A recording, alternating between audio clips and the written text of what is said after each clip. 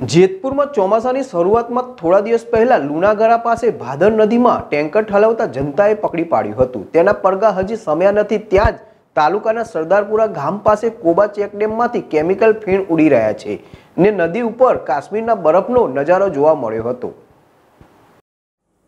વિશ્વ પ્રસિદ્ધ જેતપુરનો સાડી ઉદ્યોગ અને કોટન પ્રિન્ટિંગ ઉદ્યોગ દ્વારા કલર કેમિકલવાળું પાણીનું પ્રદૂષણ જગ જાહેર છે. આજે સવારે જેતપુરના સરદારપુરા ગામ પાસે આવેલ અને ભાદર નદી ઉપર બાંધેલ કોબે ચેકડેમમાં પાણી ઉપર પ્રદૂષણની ચાદર છવાઈ ગઈ હતી. ડેમ ઉપર જોતાં એવું લાગતું હતું કે જાણે કે કાશ્મીરની બરફની ચાદર છવાઈ ગઈ છે. કેમ પ્રદૂષિત પાણી ઠાલવતા પાણી સંપૂર્ણ રીતે પ્રદૂષિત થઈ ગયું હતું અને ડેમની ચારે તરફ પ્રદૂષિત પાણી અને કેમિકલ ફીણના ઘોટા ઉડી રહ્યા હતા.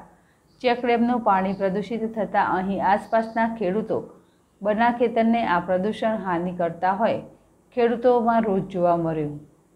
આ પાણીને લઈને ખેતરમાં ઊભા મોલને નુકસાન કરે છે, ત્યારે છેલ્લા પચીસ વર્ષથી પ્રદૂષણ સામે લડાઈ લડતા ખેડૂતોએ હવે આ પ્રદૂષણ બંધ કરવાની માંગ કરી છે.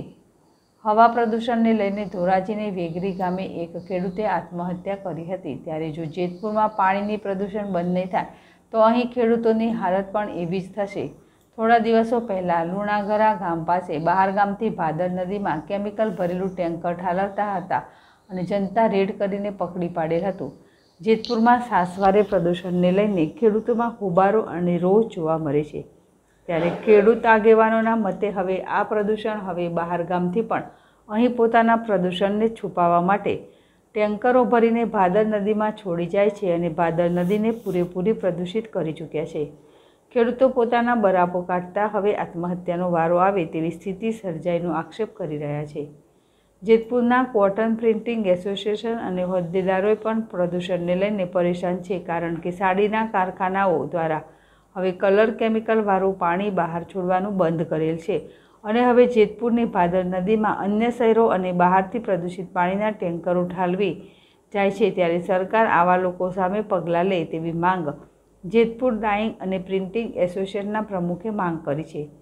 ચેકડેમમાં પ્રદૂષણ સામે આવતા જેતપુરના પ્રદૂષણ નિયંત્રણ અધિકારીઓ સફારા જાગ્યા હતા અને ચેકડેમ ઉપર પાણીના નમૂના લેવા માટે ધસી આવ્યા હતા અને અહીંથી તેઓએ આ પાણીના નમૂના લીધા હતા અને રોજ કામ કરેલ હતું. પરંતુ આ બાબતે મીડિયા સાથે કોઈ પણ વાતચીત કરેલ ન હતી અને આ પ્રદૂષણ બાબતે કંઈક બોલવા ન ટાર્યું હતું. પોલ્યુશન અધિકારીના વીડિયો જેમાં તેઓ સ્થળ ઉપર ચેકિંગ કરી રહ્યા છે. આવતા ભવિષ્યને સુરક્ષિત કરવા માટે કોઈપણ પ્રદૂષણ કાબૂમાં લેવું તે સરકારની પ્રાથમિક ફરજ છે. ત્યારે સરકાર જેતપુરની ભાદર નદીને ચોખ્ખી કરવાનું કામ કરે અને પાણીના પ્રદૂષણ ઉપર લગામ કરે તે જરૂરી છે. આશીષ પાટડિયા જેડેશ ટીવી, જેતપુર.